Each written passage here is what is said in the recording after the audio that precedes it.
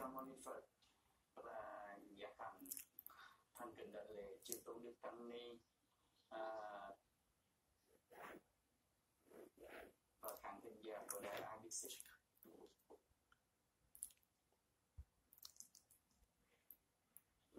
Hôm nay chúng ta lên đây để có những cái à, thảo luận cho thì con xin à, có câu hỏi về thượng tọa như thế này như chư Phật tử à, họ cần phải có cuộc sống như thế nào? Và họ hành pháp gì để mà họ có một cuộc à, gì đó Phật à,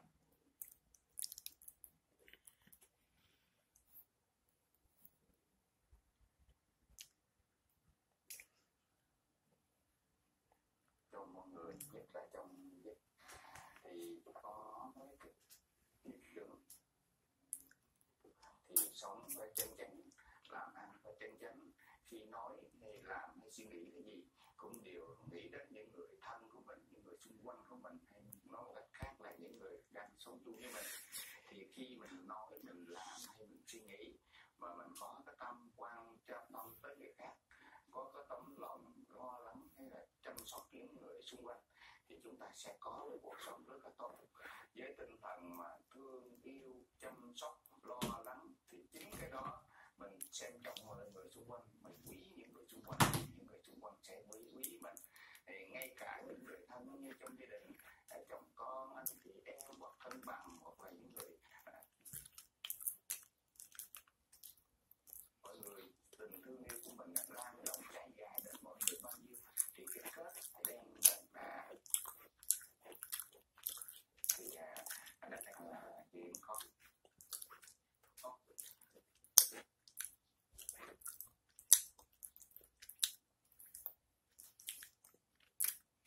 cái pháp hạnh phúc ờ, an phúc hay gì đâu anh thế là chứ tôn và thưa khán thính giả câu hỏi của trường thì trước khi vào câu hỏi này con phải trình bày giới thiệu tại sao cái kênh hạnh phúc kênh này nó xuất hiện trên uh, trên uh, xã hội Ấn Độ lúc thời mà Đức Phật còn tại thế và thì trước khi Đức Phật chết xuất hiện tại xứ Ấn Độ chỉ loài người.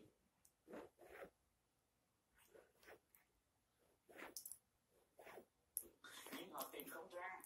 Họ gặp những thầy này thì thầy này nói là có đôi mắt là hạnh phúc.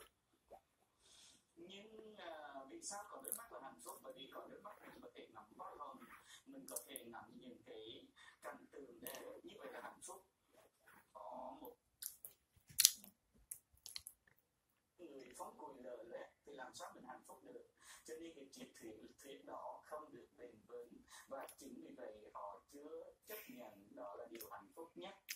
Rồi đến một vị giáo chủ thứ hai thì vị giáo chủ thứ hai nói rằng có cái thì à, là, là hạnh đôi tay là hạnh phúc sao nghe được nhạc uh, này nhạc nọ mình nghe tiếng âm thanh du dương vì vậy cho nên hạnh phúc tuy nhiên có những người nhiều cái cho nó làm hạnh trắng không cho nên chuyện thị này cũng không nhìn ở chỗ này coi mùi thơm nhưng có những người khác họ nói lại là nếu anh đi vào chợ anh người những cái mùi xú ế thì làm sao anh hạnh phúc được cho nên ba cái chuyện thị đó và cuối cùng họ không tìm được cái điều hạnh phúc suốt 12 năm trường thì sau khi Phật thì tôn của chúng ta hay là Đức Phật Thích Ca xuất hiện trên cõi đời.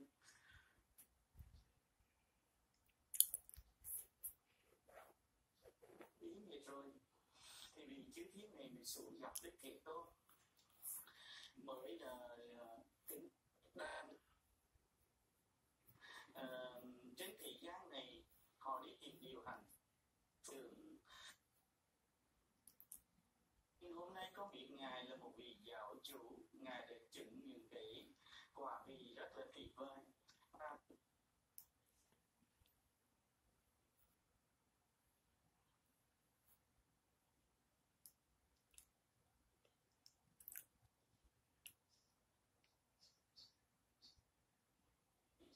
thì từ chỗ đó đức phật mới là bắt đầu dạy cho vị kinh hạnh phúc, kinh hay là trong tiếng anh gọi là sinh sutta trong tiếng phạn gọi là mangala sutta thì đức phật dạy như thế này, như vậy tôi nghe.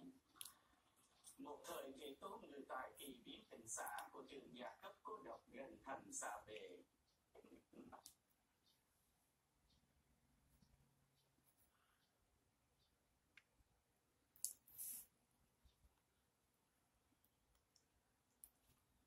chữ thiên và những loài suy nghĩ điều hạnh phúc.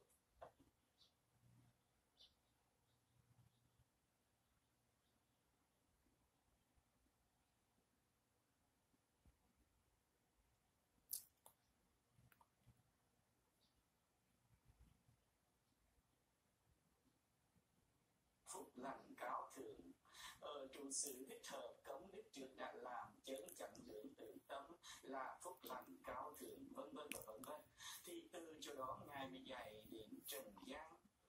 38 pháp hạnh phúc. Ngài đi từ thấp lên cao từ một người thường dân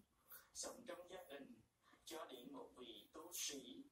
uh, áp dụng cái mấy pháp hạnh phúc đó để trở thành những con người tự tại giữa cuộc đời này. Thì đó uh, theo lời hỏi của thường tòa thích nhật tôn thì con xin trả lời đó là nguyên nhân gì mà hạnh phúc kinh này xuất hiện trên sự Ấn Độ và xuất hiện thời gian nào và do ai mà Đức Phật nói gì? À, xin sư mở rộng tiếp. À, nói rõ hơn trong cái 38 pháp mà hạnh phúc rất dài khiến cho và mọi người được sống an vui. Xin mời sư tiếp dạ thì bây giờ con xin à, nói ba pháp hạnh phúc đầu tiên đó là gì không gần gũi kẻ thân cần bậc trí hiền đành lệ người đáng lệ là phúc lành cao thượng. Khi đức phật dạy rồi, ngài khuyên chúng ta trong cuộc đời,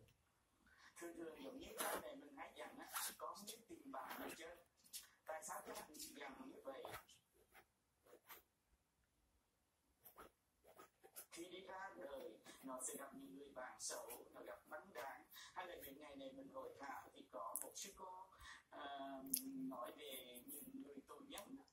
thì vì sao? Bởi vì chi rất là bạo lực trong cuộc đời, và hiện bây giờ ánh đó